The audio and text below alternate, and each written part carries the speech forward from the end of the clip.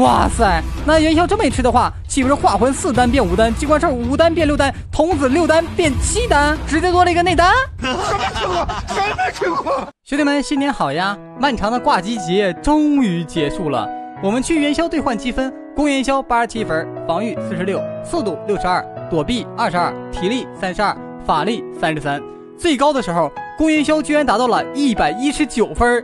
也许是得到了这位大兄弟善意的提醒吧。牛掰！友情提示：兔子三月十二号八点才会离开。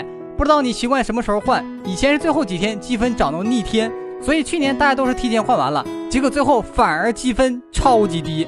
想要最低，那每周二刚维护完可以拼一波手速，我就抢过十五分的。只是大家千万别卡最后一天的最后几分钟，因为最后几分钟很容易就提前关闭服务器了，无法兑换了。别问我为啥知道。言归正传，须弥出现这么久了，很多人的宝宝速度、法力、资质都很高了，甚至和我机关兽一样，速法已经全满了。那这个时候应该怎么吃呢？我也纠结了很久，本来想吃防御的，十五个防御元宵能加一百二左右的防御，防御高了，宝宝飞的少了，那自然就变相的增加了任务的效率，也节约了寿命和巫医的成本。所以须弥吃防御也是很好的选择。但直播间有粉丝说，现在须弥应该吃攻击，因为吃攻击元宵能增加法术输出。当时我的第一反应就是不可能，绝对不可能。本着不测试都是耍流氓的态度，直接测试。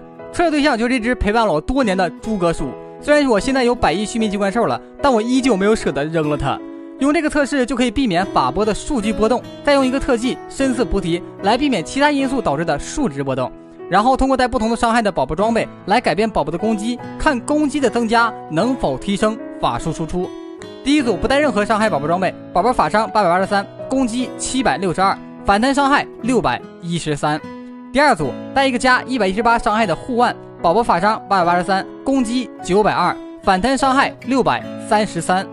第三组带一个加一百一十八伤害的护腕和五十七伤害的衣服，宝宝法伤八百八十三，攻击九百九十六，反弹伤害六百四十二。